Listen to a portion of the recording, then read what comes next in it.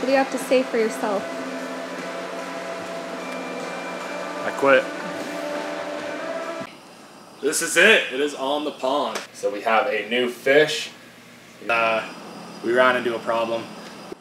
What is up, everybody? We are back at the greenhouse today, so we are finally going to be filming another episode. I know it has been a minute. but You can see the plants over there on the pond going crazy. So uh, before we get talking about today's video, let's go give you a little update on the pond real quick. So I know it's been a minute since I filmed a video, but that is okay. We are back at it now, getting stuff done. I've just been saving up some money and had a lot going on. But look at this, guys. This is crazy. Look at these plants. It has literally turned into a giant blanket. So all the water lettuce and water hyacinth is doing great. For a while there, it started growing. I don't know if you remember. It was like this little corner right here. I have not added any new plants. This is all just new growth from what I did add originally. But uh, yeah, it started turning yellow and kind of dying off, and all the algae in the pond died. And I think it's because I had no nutrients at all, like nitrates, phosphates, everything zero. So what I did was I dosed some of this, some Thrive. It's a fertilizer, all-in-one fertilizer meant for planted aquariums, and I dosed about half the recommended amount, which was way too much because now I have a pretty gnarly hair algae outbreak. But I'm not super worried about it. It's just because I overdosed the fertilizer, so I'll be able to get it fixed up pretty quick. Probably can't see good because of the reflection, but uh, oh yeah, you can kind of see over here growing off the walls. I've got quite a bit of it. But yeah, as soon as we get this enclosure built and get ready for fish, before we move the fish over there, I'm going to uh, get in there, clean out as much of the algae as I can, and then do a couple big water changes, and then we will be ready for fish after we do what we're talking about today. So we are finally going to build the enclosure that I've been talking about. So give you a rough idea of what we're doing. I'll explain it more as we go. But we're basically building a wire mesh enclosure all the way around the pond. It's going to be six feet tall from the top of the pond. And uh, that is to keep the arowana from jumping out and the birds from going in there and getting eaten by the fish and it's going to house another really cool animal that we're going to get in the future. But I'll tell you about that more when we get it. So for now, let's talk about what we got going on today. I'll explain it a little bit. Oh yeah, by the way, uh, the Luteus pleco is doing great. It's pretty hard to see him down there. But uh, yeah, he's been doing great, especially with all the algae. I'm sure he is in heaven. Okay, so we are going to get started building the wire mesh enclosure. I uh, it started raining again. It has been crazy, guys. Here in northern Utah, we've been having the craziest just snow and rain like nonstop. But anyways, the wire mesh enclosure. Uh, I struggled with trying to figure out what I wanted to frame it with because it has to be corrosion resistant, somewhat durable enough to hold up the mesh and any animals climbing on it, and uh, need it to look decent because I built this awesome pond. I don't want to just cover it with something ugly, you know. I really want it all to look good. So what I didn't mention is the whole front of it, we're going to make it kind of like a garage door so it opens up. So when people are over, when I'm feeding the fish or just enjoying it, if I want to, I can just open it up and then just close it whenever I'm not here. That way the arowana don't jump out and die. But what we ended up deciding to go with was uh, extruded aluminum. So I don't know if you can see that. Yeah, it's not going to focus. I don't know. You'll see as I go, but it has these little slots in it so there's all kinds of attachments and stuff. So this is pretty strong for the size. This is only, I think, three quarter inch. Yeah, three quarter inch. And uh, it's super strong. It looks super nice. It was kind of expensive, but that's all right. It's gonna make it all look way better. So there's all kinds of different pieces, different connectors and stuff. So like this piece slides in this little slot, and then that connects two straight pieces together, right? There's uh, these little gusseted, there's all kinds of different brackets, but I use these ones because I figured it would be kind of stronger. So these little corner brackets will screw two pieces together, hold it together. There's these little inside corner brackets. You can see those. Nothing crazy. Those will hold two pieces together, but I'll more use these on like the supports in the middle, not on the outside of the frame. There's these three-way ones. I don't know, this probably this is not focusing on anything, but that's all right. You'll see as I'm building it. Yeah, these slide in. So basically there's all these different fittings. It slides in here. It's got little set screws, and then it's like connects for adults, you know. how it all works is these little T-nuts. So that little nut, oh my god. This little nut right here, uh, there you go, you can kind of see it. That slides in and then this little screw tightens it down or screws on whatever type of bracket you have. There you go. So that's how it works. And then once it's all built, I'll have a bunch of these T-nuts with these screws and washers, and that's how we'll attach the wire mesh. So I'm gonna get some measurements, start cutting some pieces. The other cool thing with aluminum is I can just cut it with a miter saw. So yeah, we will build the bottom piece and then pretty much build the whole thing out here, which is probably gonna be a pain, and then wrap it in wire and then move it over the pond and then secure it down to the concrete. So yeah, I'm sure it's going to be quite the process, but it should look really good when it's done. I'll explain more about the garage door thing when we get there. Okay, we got the bottom rail all done, so pretty much the frame for the bottom piece, got it all done all the way around. Doesn't seem like much, but that was the hardest part because I had to figure out how to like do these changes in the height of the brick and go around the pipe down there and all that. But uh, this is it, it ends right here because this whole section in the front will be the garage door. So now what we are going to do is take our measurements now that we know them and build the top frame, just a big rectangle for the top, and then we will cut all of our upright legs. And then that's when it gets hard. We'll have to take this off and the top piece and connect them off the pond. And then, uh, yeah, we'll go from there. So let's get cutting some more pieces and we can get this finished hopefully. Okay, so we're building the top frame right now. But one thing we realized is everything has to be planned out in advance, and it is kind of turning into a nightmare because anywhere where you're going to put the connectors, you have to have the T-nuts in place when you build everything. So as we go, these are the ones that we're going to hook the mesh to. So this is going to be like the back side or the front side, whatever it is. So yeah, we have to figure out how many T-nuts we need and make sure we're in place before we connect all the pieces. And then for these connectors, it's probably not necessary, but I decided to Loctite all of them. So you see it just slides in here.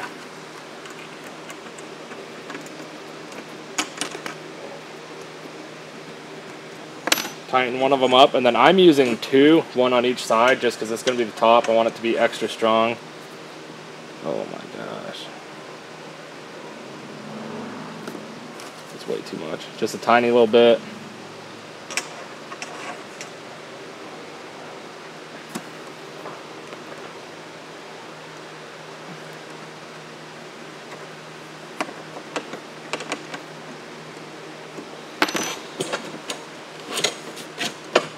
Slide the two together and tighten it all up.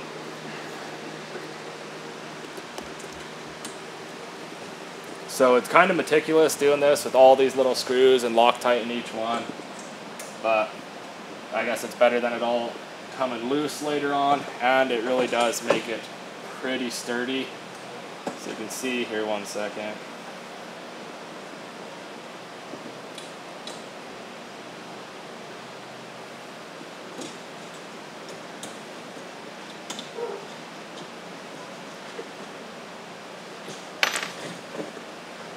So you can see this is a pretty long piece and it's pretty sturdy. So it's like a bows a little bit, but for this only being three quarter inch, I think it's plenty strong enough. But yeah, so a lot of planning in advance and putting all the little connectors on is pretty meticulous, but I think it'll be worth it when it's all done. So.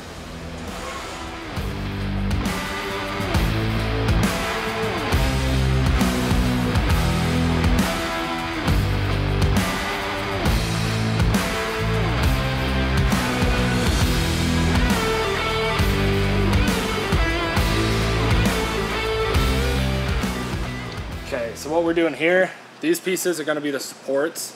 So the top is obviously a giant rectangle, the back is a giant rectangle, so it's going to have two supports in the top, two in the back.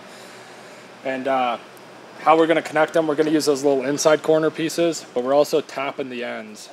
So if you look, ah, this stuff has a hole in the end, so we're tapping it out, and then you can put a screw in there, and then that screw fits perfectly into the channel. So then you slide it into the channel and then all you gotta do is drill a hole in the other side so you can get your little Allen wrench through there and tighten it and that's a good way to connect the T's. So we will probably do that plus the little inside corner pieces, you know.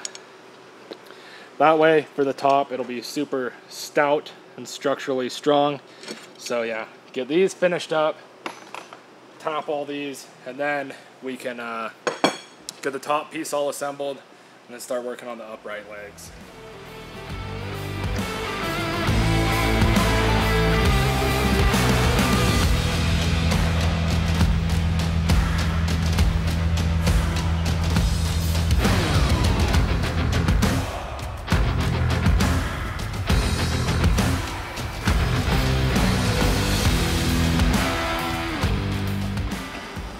All right, we almost got the top of the frame built, but uh, we ran into a problem.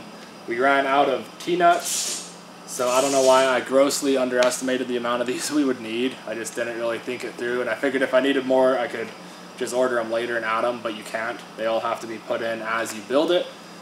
So like, as we make this connection, these ones all have to be in here, you know? And we have to have enough to screw the mesh on, on the whole top and on all the sides as we go. So that is the one thing we're finding about using this extruded aluminum is you literally have to have the whole thing planned out, every single part you need, and you have to have it planned out before you start building anything. If you put stuff together without thinking it through, you're gonna end up having to take it back apart, which we did quite a few times. But now I think I got a pretty good idea what we need. So I ordered some more of the T-nuts. They will be coming here very shortly. I think like one day, two days, something like that. So in the meantime, we're gonna go home, take a break. I might give you a little update on the fish because we got another fish. But uh, yeah, we will get back to this when the shipment shows up. This gives you an idea of how big the pond actually is because this is pretty much the footprint of the pond. So looking good so far, super sturdy, and it's only halfway screwed together. So while we're waiting for parts, figured I'd give you a little update on the aquarium. So we have a new fish. You can see right here we got a fourth Fogo bass, and this one actually came from one of my friends. Friend Fran sold it to me, but our buddy Jaden is the one that originally raised all four of these together from like two or three inches. And then Fran got the big one, I took the other three, and now they are all back together. So probably won't be able to see him. I'll try to get some cool shots, but he's got a super red face. Pretty good chance that he's a male and the rest are females, so that will be pretty cool. But look at this, look how big the arowana are. They're getting huge. The stingray is getting huge. She's like doubled in size.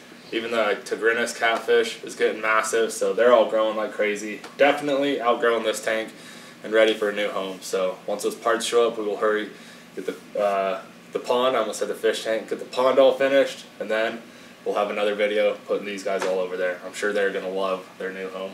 It's gonna be much better than this little tank. So. Okay, we are back at the greenhouse. The snow has been crazy, so luckily I got the day off work. So now we're gonna be working on this. But uh, we got all our parts that needed, that we needed. And uh, while we were waiting for the parts to show up, we got the aerator added to the pond and we added some cool plants. But uh, if you guys want to see that, check out the last video I posted because we made a separate video on that. But here it is. We got all the T-nuts. So now we can continue working. So we're gonna finish this top frame, put the rest of the T-nuts in, make this connection, this connection, and this connection. And then we will start cutting and building the little upright legs. And then once that's done, I got to get this bottom frame off and get that attached to this frame, which is probably going to be a pain in the butt. But uh, I'm sure I'll need some help with that. So I'll probably get someone over here to help me. But yeah, let's get ready to go, get working again. I'm excited to get it done. Top frame is completely done. It's flipped over right now, but you can see we got all the little gusseted corners on. All the T-nuts are installed in the other side. And then this side are these middle support pieces. You can see we drilled through it like I was talking about. So you just drill that little hole and then that's how you tighten the nut on the inside of there or the screw. And then we also added these little corner pieces just to make it extra strong. But uh, this thing really is super sturdy for being three quarter inch. I'm pretty happy with my choice of this material. I think it's going to work great. Now, let's get the uprights done. The first two uprights are on, and even with nothing connecting them, they're surprisingly sturdy. So I think once this is all hooked together, it's going to be plenty strong. Okay, the frame is finally complete. It was a pain in the ass, but it all looks pretty good. And it's all pretty sturdy, I think. So once again, I forgot to put half the T-nuts in the top, and I had to go back through and add them all. So that was a pain, but that is all right. But yeah, the frame is done. It looks pretty good. It is not very heavy, and the whole thing is pretty sturdy. I think it's gonna work great. So, I'm probably done for the night, but we're gonna come back, we're gonna wrap the whole thing in mesh, and then I'm gonna have to get a couple people to help me, and we're gonna put it over the pond and anchor it to the concrete. So almost done, this is much closer. All right, we have started getting the mesh attached. So we're starting here on this little front wall. You can see, whoa. We got our little screws and washers. Just holding it in every six inches. You can see we've got this corner here pretty tight so far. But we're just slowly working our way around. It's kind of a pain, but we will get this side on. I'm sure we will kind of have a method down. So go from there. Okay, the first side is completely done. I think it looks super good. You can see we got her pretty tight, so I'm pretty happy with that. You can see on the edges, all our little washers and screws, all these little spiky ends, I just hammered them down so it's not super sharp or anything. And yeah, I think it looks good. That's the smallest side, but that will be on the front, so I want that one to look good, but pretty good idea of what this is all gonna look like. I'm pretty happy about it. I think it's gonna look great. But uh, I don't know if you guys can tell or see on camera, but I am like pouring sweat. Remember the other day when I said it was uh, snowing and all crazy? Now it's like 55, 60 degrees outside. So in here it is 85 degrees and 70% humidity and I am not adapted to the heat yet. I'm dying. So definitely gonna get this enclosure done and then the next step in the greenhouse is gonna be getting the fans and the misters and the foggers and everything hooked up to keep it a little bit cooler so I'm not dying all year and so we can keep it ready for plants and animals but uh, yeah I guess we gotta wrap all the other sides of this so it's probably gonna take me a while. It's kind of a pain getting these little T-nuts all spread out. I gotta like hold it with a little Allen wrench and then grab the screwdriver with my other hand and then hold some parts with my mouth and it's a pain but that's all right. We'll just take our time get the rest of the thing knocked out. I'm excited to see what it looks like when it's done. Yeah one more thing I wanted to mention was uh, all these parts you see me using this extruded aluminum the wire mesh everything except basically some of the screws and washers I got off Amazon because I'm lazy and I like to buy stuff off Amazon. I just go through and check out all the reviews and see what looks good and then buy it and try it out. So I will link that below in the description and they are Amazon affiliate links so I get a little bit of kickback if you buy it through there. So I would appreciate it but uh, yeah, just know if you're working with the extruded aluminum, I do love it. It seems awesome so far. I'm really happy with it but plan everything out in detail and expect it to be a little bit more work than you're thinking. Okay, this side is done. So, this side went a lot better. I think I'm kind of getting down a method for everything. And then the mesh that I found is only four feet wide. So we're gonna have a bunch of spots where it's two pieces connected.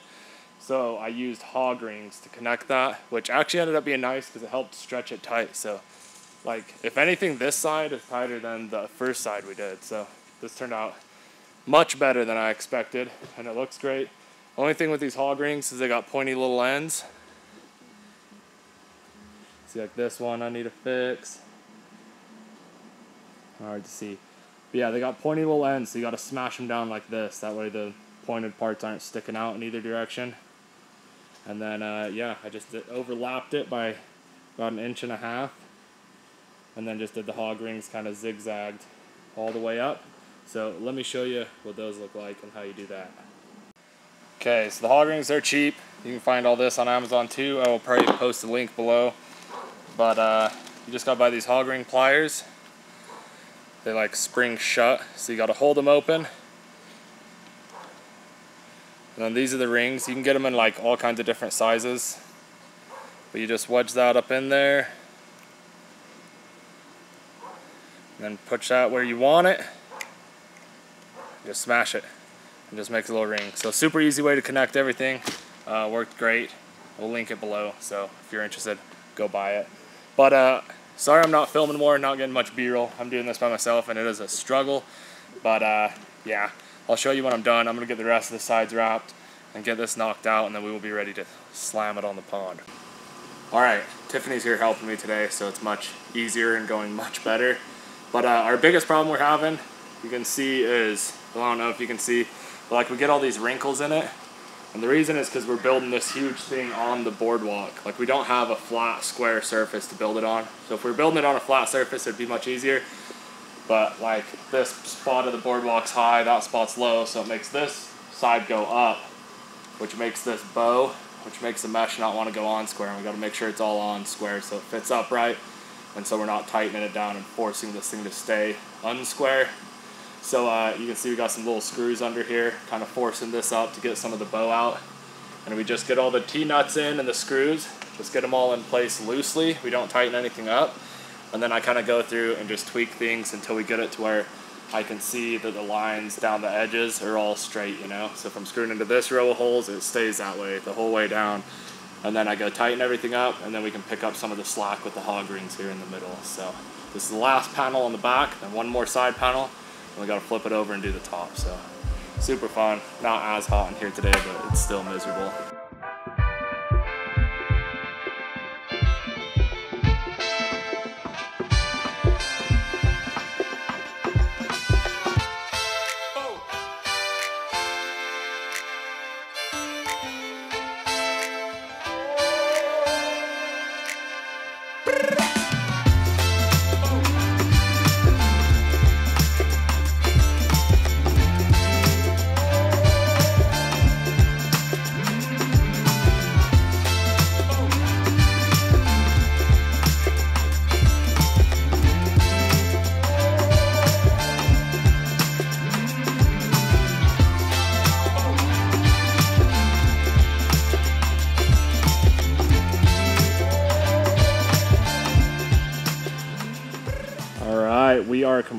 Done with the mesh. I'm super happy with how it turned out.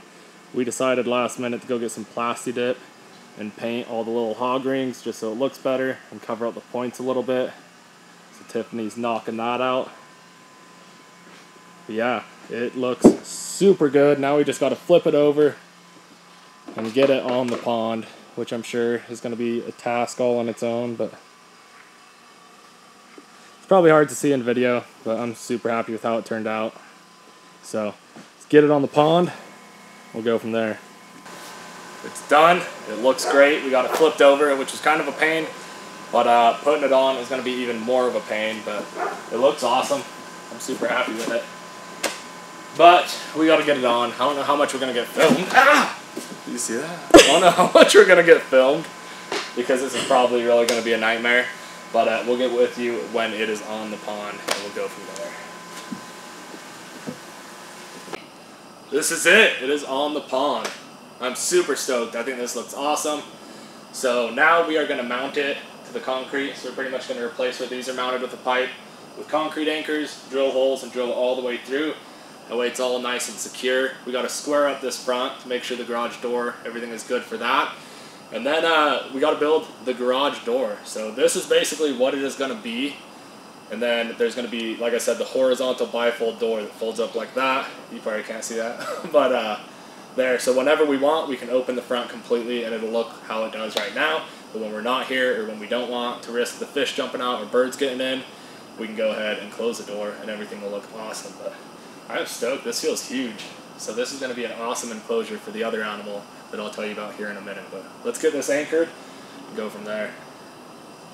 Alright, the enclosure is all anchored in, but that is going to be it for this episode. So make sure you subscribe to the channel and then like this video so you can see part two where we get the garage style door all built for this and get it completely finished. But first, we need to make some room in the uh, aquarium.